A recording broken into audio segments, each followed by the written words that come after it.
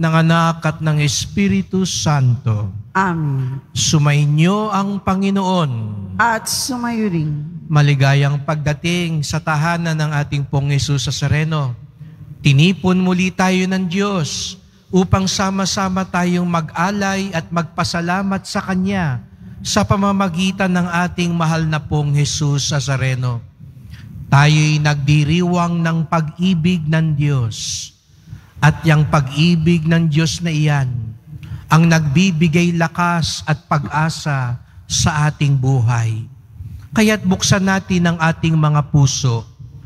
Patuloyin natin ang pag-ibig ng Diyos upang ito rin ang ating maibahagi sa ating kapwa. Upang tayo maging ganap sa pagdiriwang na ito, magpakumbaba tayo. Humingi tayo ng tawad sa pagkakataong ayaw natin umibig katulad ni Jesus sa Sareno. Ayaw nating magpatawad. Humingi tayo ngayon ng awa ng Diyos.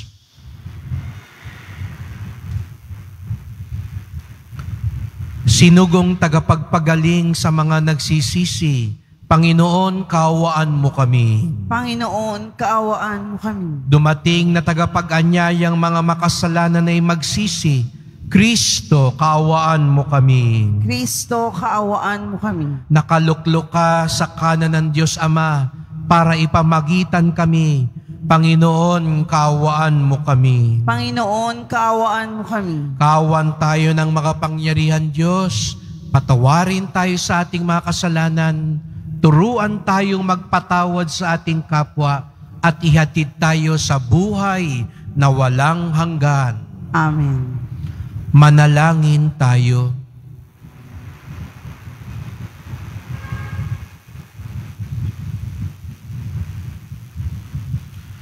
Ama naming makapangyarihan, niloob mong akuin ng iyong anak ang krus at kamatayan upang ang sangkatauhay matubos at mabuhay. Ang pag-ako namin sa krus at kamatayan dito sa lupa ayon sa diwa ng pagsunod sa iyong loob na ginanap ng iyong anak ay magpagindapat nawang aming kamtin ang lubos na katubusan at pagkabuhay sa iyong piling. Sa pamamagitan ni Yesu Kristo, kasama ng Espiritu Santo, magpasawalang hanggan. Amen. Magsiupo muna po ang lahat. Ang simula ng aklat ni Ruth. Nang ang Israel ay pinamumunuan ng mga hukom, nagkaroon ng tagutom sa buong bayan. Kaya't may isang lalaking taga Bethlehem, Huda na sandali munang nanirahan sa Moab, kasama ang kanyang asawa at dalawang anak na lalaki. Namatay si Elimelech at naiwan si Noemi.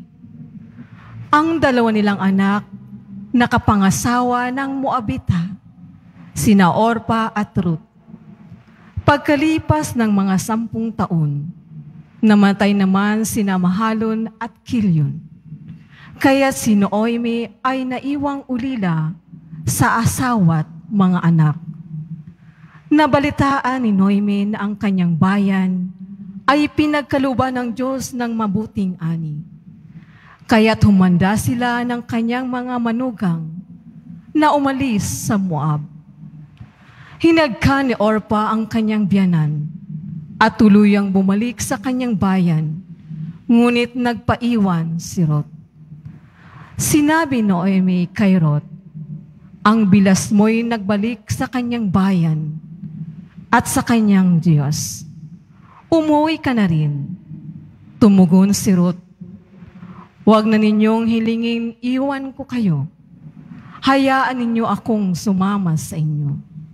Saan man kayo pumaroon, doon ako paroroon. Kung saan kayo tumira, doon din ako titira.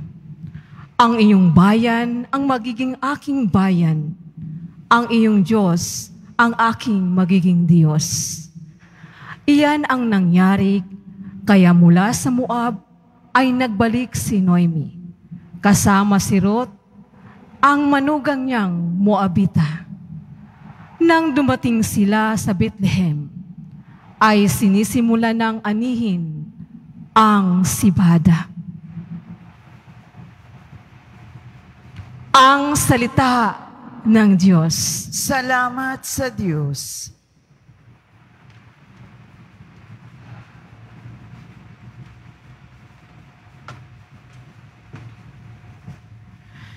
Kaluluwa ko, iyong purihin ang Panginoong butihin.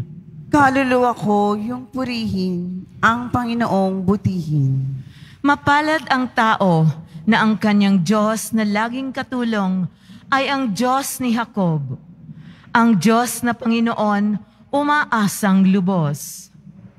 Sa Diyos na lumikha niyong kalangitan ng lupa at dagat at lahat ng bagay.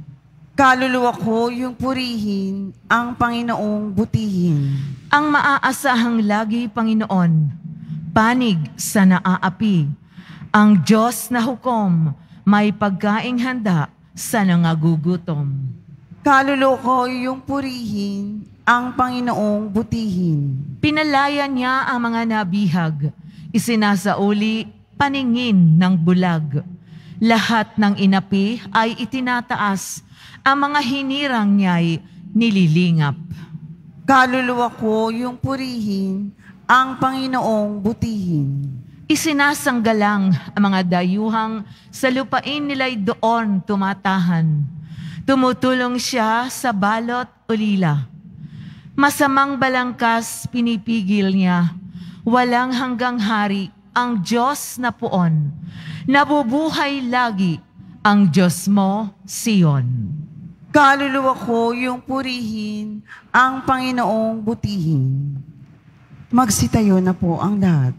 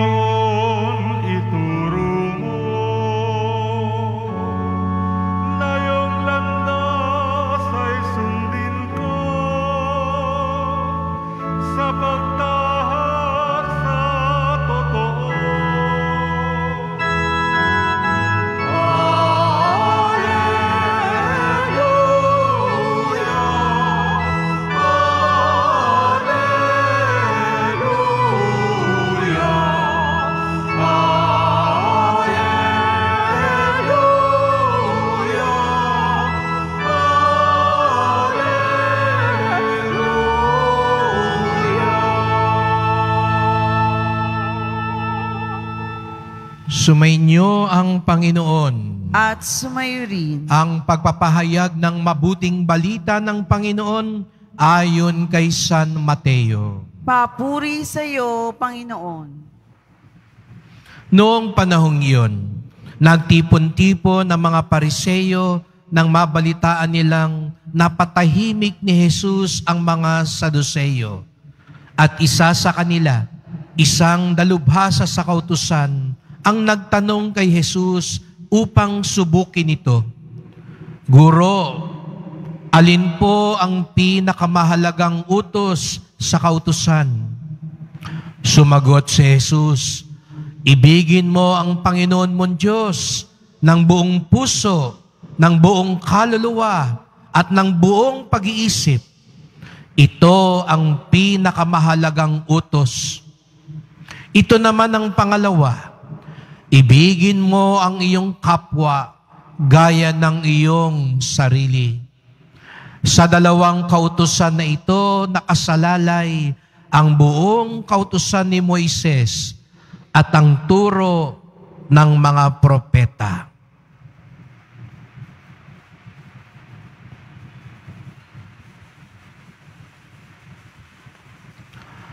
Mga kapatid, ang mabuting balita ng ating kaligtasan.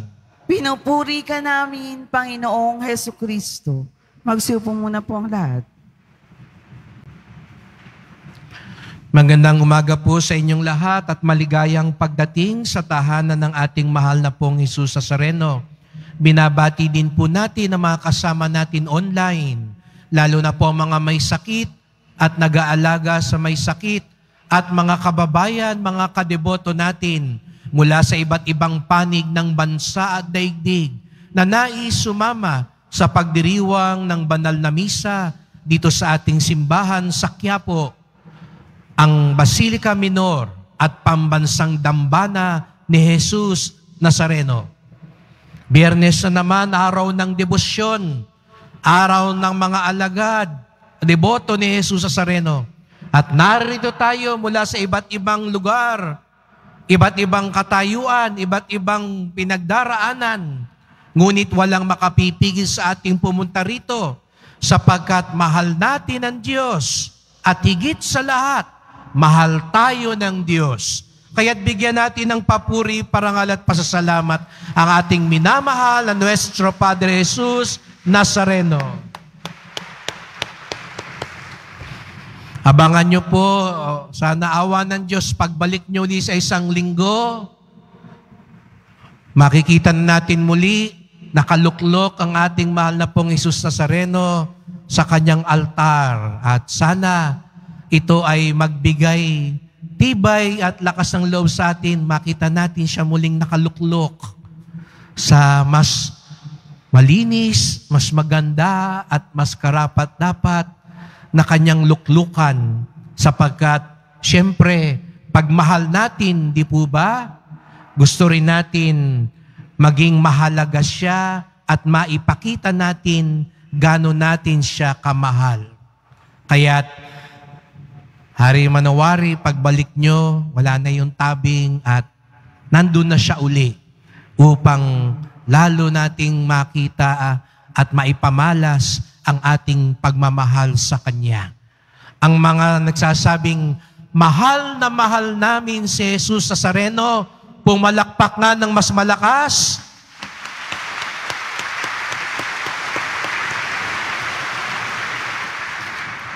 Ngunit ano nga ba ang ibig sabihin pag sinabi nating mahal na mahal namin si Jesus Nazareno? Kung tanungin tayo ni Jesus Nazareno, mahal mo ba ako? Kahit may sakit ka pa rin?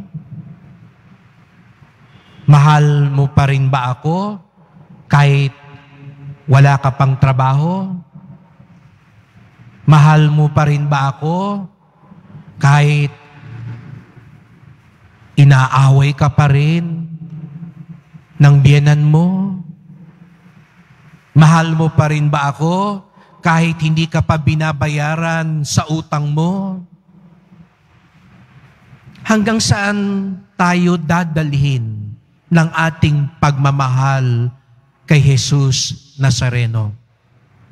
At may mas mahalaga pa rin tanong, naniniwala ba tayo na mahal tayong tunay ni Jesus Nazareno? Pinagdududahan na natin siya dahil nga wala pa rin yung lunas sa ating karamdaman. Napapaisip tayo, mahal ba talaga ako ni Jesus Nazareno?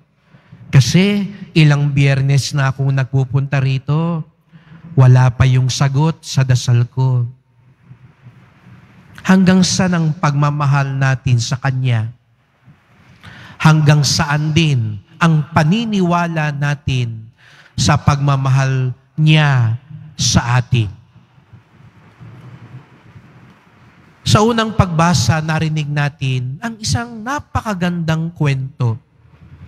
Bigyang pansin po natin at hayaan yung himayin ko ng kaunti para maunawaan natin.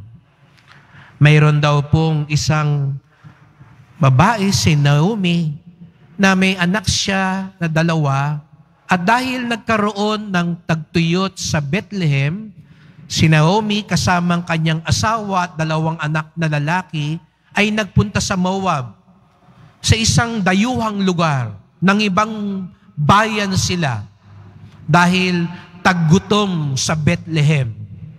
So parang mga OFW natin, ng ibang bansa, sa isang lugar na iba ang reliyon, iba ang kultura. At doon sa dayuhang lugar na iyon, nakapangasawa yung dalawang anak niya. Ngunit sa kasawi ang palad, doon sa dayuhang lugar na iyon, namatay ang asawa, parang telenovela ang nangyari. Namatay yung asawa ni Naomi at yung dalawa niyang anak. At ang natira sa kanya ay yung dalawa niyang manugang, si Ruth at si Orpa. At sa kaugalian ng mga tao doon, kapag namatay na yung asawa, wala nang obligasyon yung mga manugang. Kaya nga, sabi ni Naomi, doon sa dalawa niyang manugang, kay Orpa at kay Ruth, pwede nyo na akong iwan. Bumalik na kayo sa inyong sariling pamilya. Lalo na dayuhan din ako. Ngunit, anong naging tugon? Si Orpa, bagamat mahal niya si Naomi, umalis siya at bumalik siya sa kanyang pamilya. Si Ruth, sabi niya kay Naomi, bagamat wala na yung anak mo na asawa ko, bagamat pwede kitang iwan at wala akong obligasyon sa iyo, hindi kita iiwan. Saan ka man naroroon, doon din ako. Ang bayan mo, bayan ko na rin. Ang Diyos mo, Diyos ko na din. Napakagandang kwento ng pag-ibig. Ang love story hindi lang sa babae at sa lalaki. Dito lalo na ipinakita ang manugang sa kanyang biyenan. Sa mga nakakatanda dito, naalala nyo si Pepe Pimentel, si Rod Navarro, lagi nilang ang biro. Allergic sila sa biyenan nila. Naalala nyo yun? Na lagi nilang sinasabi, ang krus nila sa buhay ay yung mga biyenan nila. No? Kaya kung pwede lang makalaya sa kanilang mga biyenan. At ang iba naman siguro din, sinasabi nila, ang krus nila, ang mga manugang nila. Meron bang nagsisimba kaya dito? Yun ang ipinagdarasal. Hanggang ngayon, yung biyanan ko, ang tingin, ninakaw ko ang anak ko sa kanya. Ninakaw ko yung anak niya sa kanya.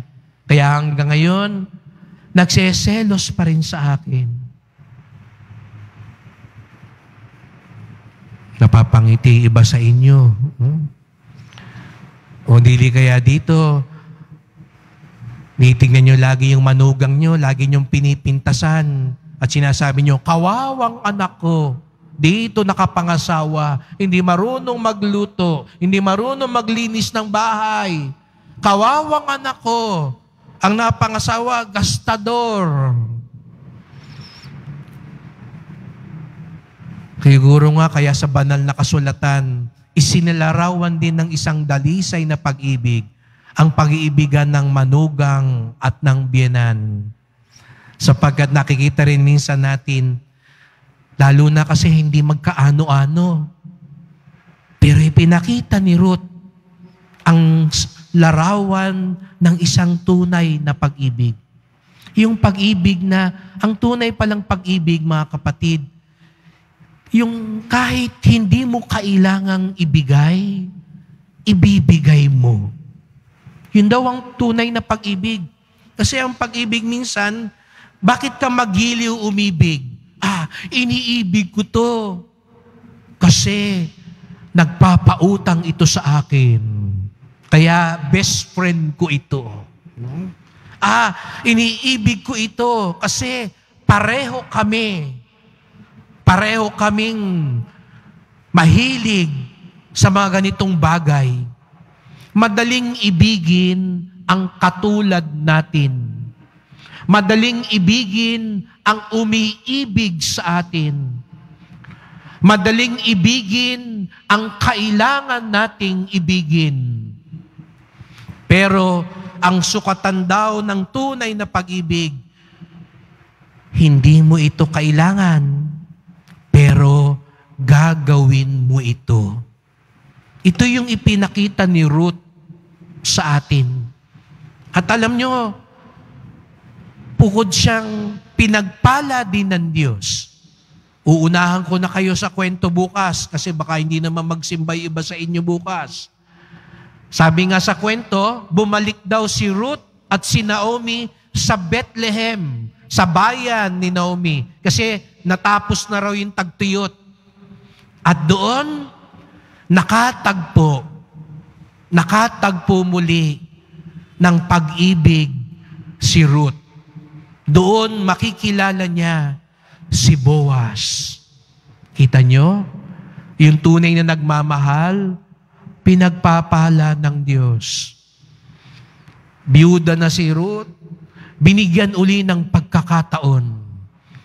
O meron bang mga biyuda rito, humingi pa ng isang pagkakataon? No? Baka makatabi niyo may mga asawa, sabihin sa iyo, wag na, matuto ka na sa una. Pero, anong nangyari kay Ruth? Binigyan siya ng pagkakataon, si Boaz. At along nangyari, si Boaz nagkaanak, si Obed. At nagkaanak si Obed, si Jesse. At sinong naging anak ni Jesse? Si Haring David. At sino si Haring David? Ang ninuno ni Jesus Nazareno. Kaya kung tutusin, si Ruth ay ninuno. Impo, ika nga, lola sa lola ni Jesus Nazareno. Si Ruth, yung biyudang nagmahal sa kanyang bienan, yung nagmahal kahit hindi naman dapat sana kailangan, pinagpala dahil nagmahal siyang tunay upang mapabilang siya sa mga ninuno ni Jesus Nazareno. Kaya maalala nyo, pag nagsimbang gabi tayo, naalala nyo ikalawang araw, pag binasa yung mga kanununuan ni Jesus Nazareno, babanggitin doon yung pangalan ni Ruth. Isa sa tatlong babaeng ninuno ni Jesus Nazareno.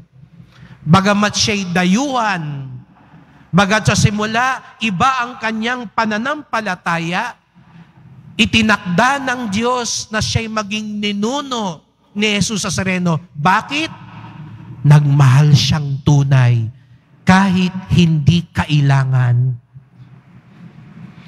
Kaya nga sa Ebanghelyo ngayon, itinuturo ni Jesus Nazareno, ano ang pinakamahalagang utos ng Diyos? Mahalin mo, ibigin mo ang Diyos ng buong puso, buong kaluluwa, buong pag-iisip. Ibigin mo ang iyong kapwa gaya ng iyong pagmamahal sa sarili.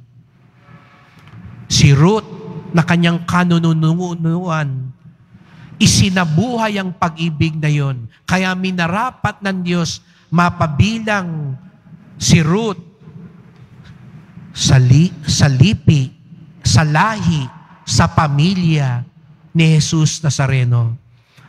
Ginantimpalaan si Ruth dahil tunay siyang nagmahal. Mga kapatid, yun din ang paanyaya sa atin ngayon.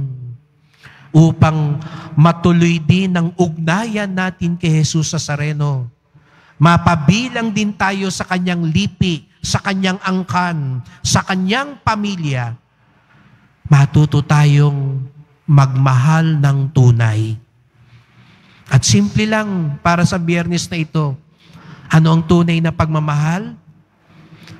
Yung ibibigay mo kahit hindi kailangan. Mahirap. Kasi mas madaling magmahal pag kailangan. Pero kung wala ka namang mahihita, pero tutulong ka pa rin, masakit, magpatawad sa iba, lalo na dahil naging tapat ka din naman. Kapag sa mga sandaling iyon nararamdaman mo ang tawag ng Diyos magmahal, tinatawag kang magmahal katulad ni Jesus Nazareno. Bakit? Tuwing nakikita natin siya, di ba ganun ang pag-ibig na isinasalarawan niya sa atin? Anak siya ng Diyos.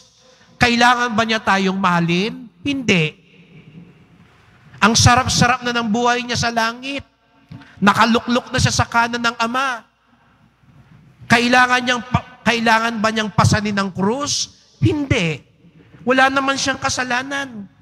Kailangan ba niyang akuin ang kasalanan ng mundo? Hindi. Hindi naman siya may, may, may gawa nun. Kailangan ba niyang tanggapin lahat ng pag-aalimura, lahat ng pananakit ng mga umapi sa kanya? Hindi. Hindi niya kailangan gawin yun. Pero bakit niya ginawa yun? Dahil mahal na mahal niya tayo. Kaya inako niya ang lahat. Katulad ng pagmamahal ni Ruth. Sapagkat yun daw ang tunay na mukha ng pag-ibig.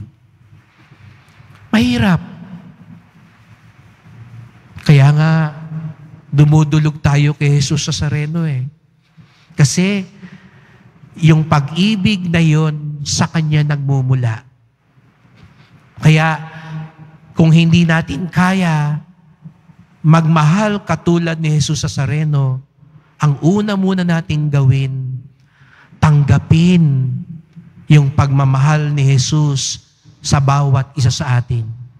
Upang yung pag-ibig na yan na dumadaloy sa kanyang kamahal-mahalang puso, ang siyang bumabad, manahan, at magbigay lakas sa ating puso. Sa misang ito, ano yung mga pagkakataon nahihirapan kang umibig? Nahihirapan kang umibig ngayon sa biyanan mo? Sa manugang mo? Sa asawa mo? Sa anak mo? Nahihirapan kang umibig dun sa mga taong chumichismis sa'yo? Yung mga taong nananakit sa'yo? Yung mga taong ginawan mo ng mabuti, pero masama ang isinukli? Ilatag mong lahat yan sa paanan ni Jesus Nazareno. At sama-sama po tayong manalangin. Mahal na pong Jesus Nazareno, narito kami sapagkat nais namin tanggapin ang iyong wagas at tapat na pag-ibig. Hindi mo kailangang maging tao at magdusa, pero alang-alang sa pag-ibig mo sa amin, bagamat kami makasalanan, inako mo ang lahat upang kami maligtas. Maraming maraming salamat po sa iyong dakilang pag-ibig, O Jesus Nazareno. At sa pagpapasalamat namin sa pag-ibig mo, ibahagi niyo po ito sa amin.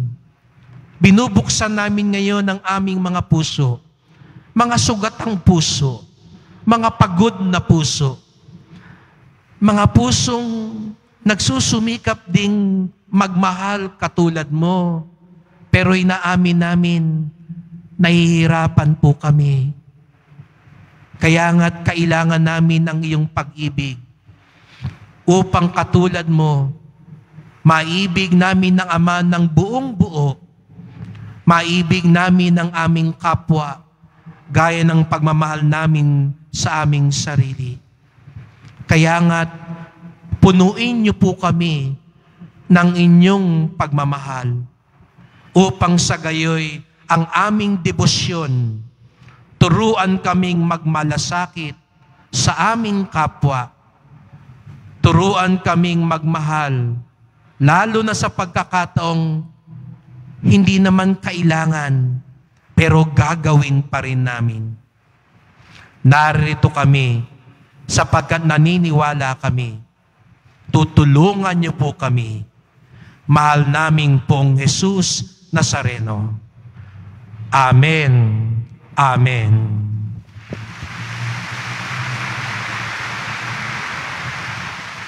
Magsitayo na po ang lahat.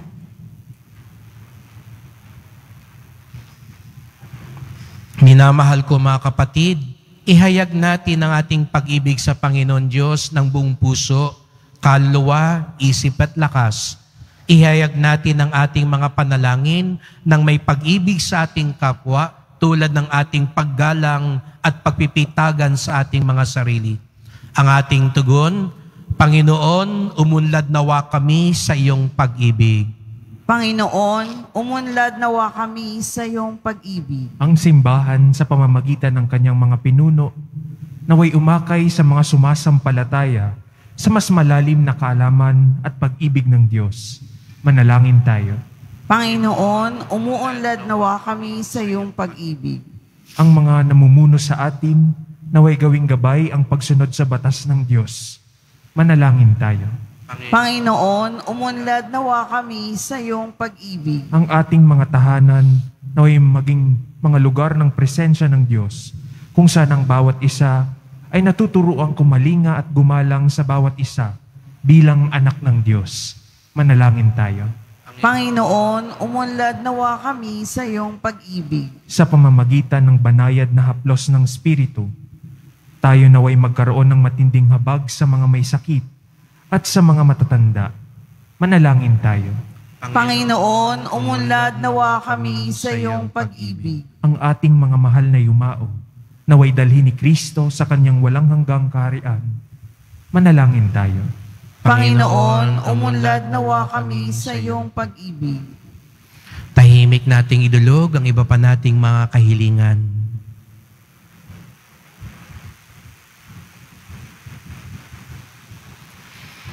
Panginoon Diyos, ibinunyag mo sa amin ang iyong kalooban sa pamamagitan ng iyong mga utos. Ngayong aming dinadala sa iyo ang aming mga kahilingan, bigyan mo kami ng biyaya na maisabuhay ang iyong mga utos. Hiling namin ito sa pamamagitan ni Kristong aming Panginoon. Amen. Magsupo muna po ang lahat.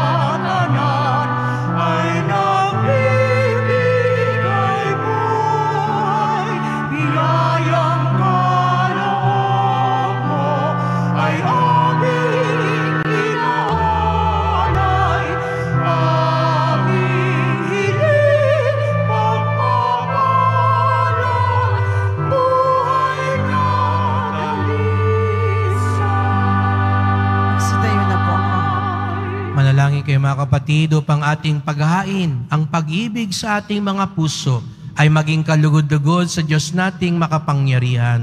Tanggapin nawa ng Panginoon itong paghahain sa iyong mga kamay, sa kapurihan niya at karangalan, sa ating kapakinabangan at sa buong sambayanan niyang banal. Ama naming lumikha sa ikapagpapatawad ng mga kasalanan, maganap nawa ang paghahain ito na sa dambana ng krus ay siyang pumawi sa kasalanan ng buong mundo. Sa pamamagitan ni Yesu Kristo, kasama ng Espiritu Santo, magpasawalang hanggan. Amen. Sumainyo ang Panginoon. At sumayo rin, Itaas sa Diyos ang inyong puso at diwa. itinaasa namin sa Panginoon. Pasalamatan natin ang Panginoong ating Diyos. Marapat na siya ay pasalamatan. Ama naming makapangyarihan, tunay ngang marapat na ikaw ay aming pasalamatan. Iyong ipinasyang sa kahoy na krus, ang sangkatauhay tubusin ni Jesus. Sa punong kahoy nagkapuwang ang kamatayan. Sa kahoy na krus itinanghal ang pagkabuhay. Sa punong kahoy na naigang sumuway sa iyo. Sa kahoy ng krus, siya'y nadaig ng masunuring anak mo. Kaya kaisa ng mga anghel na nagsisiawit ng papuri sa iyo nang walang humpay sa kalangitan, kami nagbubunyi sa iyong kadakilaan. Santo,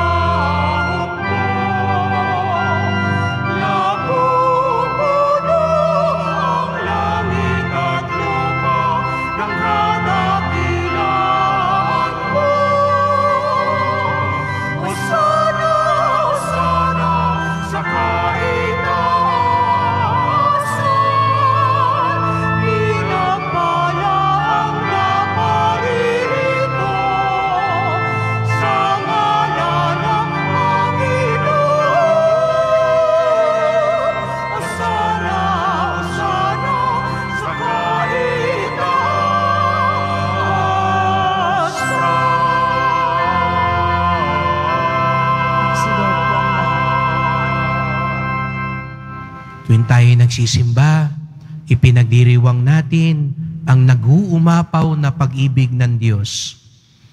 Buksan natin ang ating mga puso.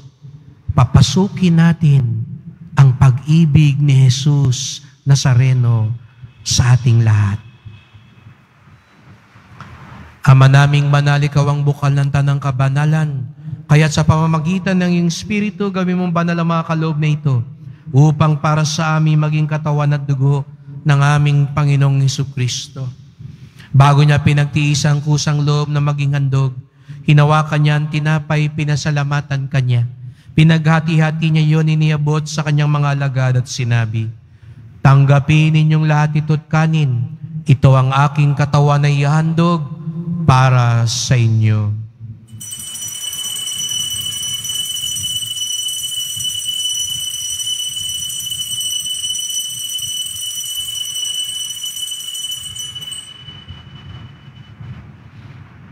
Gayuni naman ang matapos ang hapunan, ninawakan niya ang kalis, muli kanyang pinasalamatan. Iniabot niya ang kalis sa kanyang mga alagad at sinabi, Tanggapin ninyong lahat ito tinumin. Ito ang kalis ng aking dugo, ng bago at walang hanggang tipan. Ang aking dugo na ibubuhos para sa inyo at para sa lahat sa ikapagpapatawad ng mga kasalanan. Gawin niyo ito sa pag-alaala sa akin.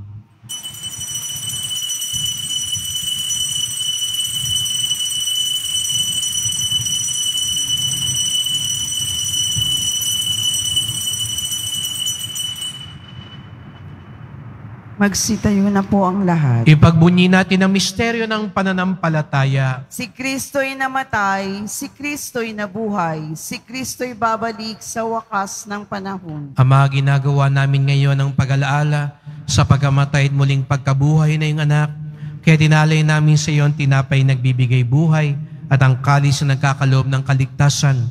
Kami nagpapasalamat dahil kami yung minarapan na tumayo sa harap mo para maglingkod sa iyo.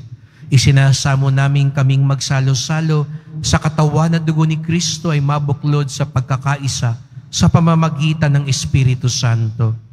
Ama, lingapin mo ang iyong simbahang laganap sa buong daigdig. Puspusin mo kami sa pag-ibig kaisa ni Francisco na aming Papa, ni Jose na aming Obispo at ng Tanang Kaparian. Alalahanin mo rin mga kapatid naming nahimlay na may pag-asang sila'y muling mabubuhay. Gayon din ang lahat ng mga pumanaw. Kawan mo sila at patuloyin sa iyong kaliwanagan. Kawan mo pagindapating kaming lahat na makasalo sa iyong buhay na walang wakas, kaisa ng mahal na Bireng Maria, Ina ng Diyos, ng kabiyak niyang pusong si San Jose, ni San Juan Bautista at lahat ng mga banal na namuhay dito sa daigdig ng kalugod-dugod sa iyo. Maipagdiwang nawa namin ang pagpupuri sa ikararangal mo sa pamamagitan ng iyong anak na aming Panginoong Heso Kristo.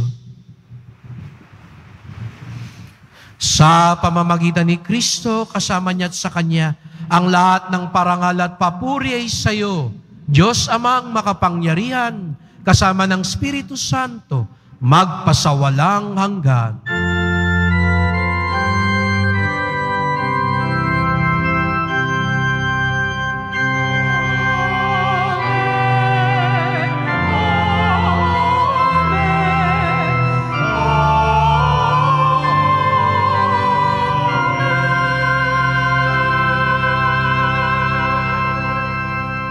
Bilang mga anak ng Diyos, sama-sama tayong umawit sa panalangin itinuro ni Jesus Nazareno.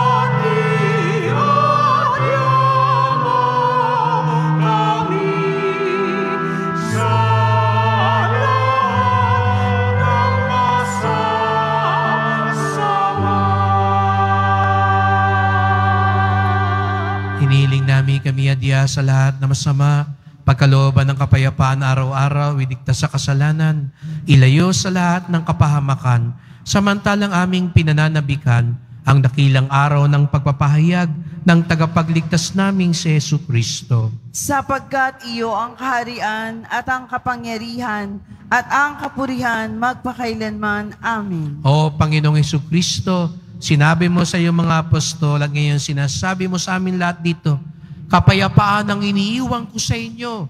Ang aking kapayapaan ay binibigay ko sa inyo. Tunghayan niyo po ang aming pananampalataya, huwag po ang aming mga kasalanan. Patawad po kung hindi kami nagsisisi, hindi kami nagpapatawad. Mapili ang aming pagmamahal. Linisin niyo po kami, Panginoon. At pagkalooban niya kami ng kapayapaan at pagkakaisa ayon sa iyong kalooban, kasama ng Espiritu Santo, magpasawalang hanggan. Amen. Ang kapayapaan ng Panginoon ay laging sumainyo. At sumayo rin. Magbigayan tayo ng kapayapaan ni Kristo sa isa't isa.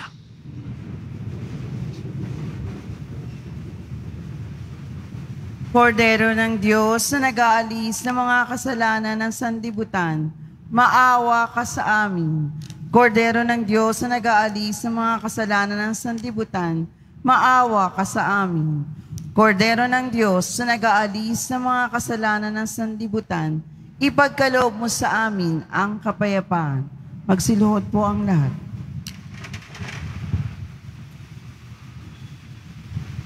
Mga kapatid, narito si Jesus Nazareno, ang unang nagmahal sa atin, ang tapat na nagmamahal sa atin. Ang kordero ng Diyos nag-aalis ng mga kasalanan ng sandibutan, mapapalad ang inaanyayahan sa kanyang piging. Panginoon, hindi ako karapat-dapat na magpatuloy sa iyo, ngunit sa isang salita mo lamang ay gagaling na ako.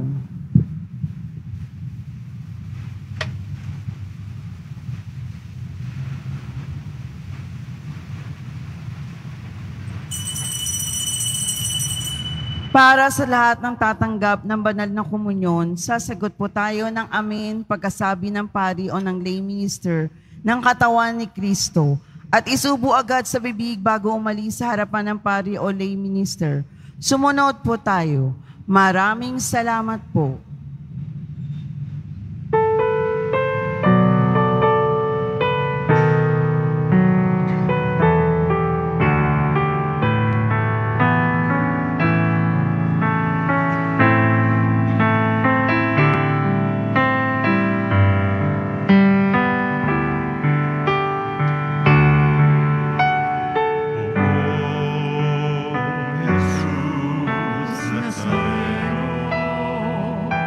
Salamat.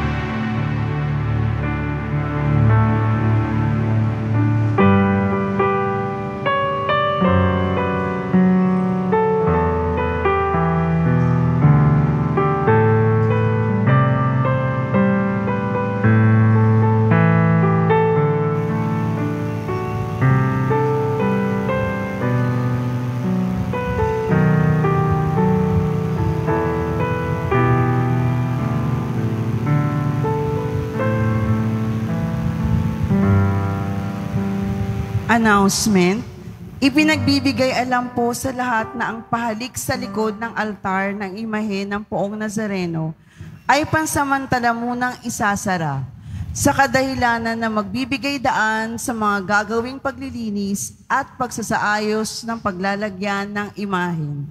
Kaugnay nito, patuloy pa rin po namin ang pahalik sa imahe ng Nazareno sa Benedict Building sa Evangelista Street po ang pasukan. Mga paalala sa mga nagsisimba, pagkatapos ng misa, wiwisikan po ang lahat ng banal na tubig. Pinakikiusapan ang lahat na manatili lamang muna sa inyong mga lugar tanging sa Quezon Boulevard o sa Plaza San Juan lamang ang labasan ng lahat. Sumunod po tayo. Maraming salamat po sa inyong pagdalaw at pagsisimba sa Basilica Minor at Pambansang Dambana ni Jesus Nazareno. Magsitayo na po ang lahat. Manalangin tayo. Panginoong Kristo, kaming nagsalo-salo sa banal na pakikinabang ay nakikiusap sa iyo na ang mga nasagip ng kahoy na krus na nagbibigay buhay ay iyong ihatid sa pagkabuhay sa kaluwalhatian sapagkat ikaw ang Panginoon magpasawalang hanggan. Amen. Salamat po sa inyong pagpunta dito sa Quiapo. Salamat po sa mga naglingkod sa misa at sa mga tumutulong sa simbahan. Sa inyong mga pamisa, love offerings, online donation sa mga tumutulong po para tuloy-tuloy po ang ating paglilinis at pagpapaayos ng ating simbahan. Salamat po sa mga nagdadala po ng bigas, dilata, noodles, at iba pang pang-ayuda sa ating mga kapatid na nangangailangan. Salamat po. Ang ating debosyon sa poong Nazareno, ang ating pagmamahal sa Diyos ay nagtuturo sa atin magmahal ng ating kapwa, lalong-lalo na sa mga nangangailangan. Ang tunay na sukatan ng pag-ibig ay kapag ito'y ating naibibigay kahit hindi kailangan, kahit mahirap, kahit wala tayong matatanggap pabalik.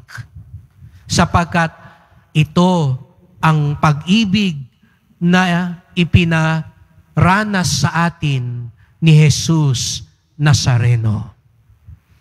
Sumainyo ang Panginoon. At sumayo rin. Mahal na pong Jesus Nazareno, inihayag mo sa pamamagitan ng krus ang walang maliw na pag-ibig ng Diyos sa sangkatauhan. Pakinggan mo ang kahilingan ng iyong angka na nagsusumamo sa iyo. Makamtanawa nilang iyong katugunan at tanggapin ang kasagutan ng may utang na loob na tinatanaw. Basbasan din po ninyo ang dala nilang mga imahin at dasalan sa pamamagitan ng bendisyon na ito. Naway maalala nila ang pangako nila noon sa binyag na ikaw ang kanilang iibigin at paglilingkuran bilang Panginoon magpasawalang hanggan.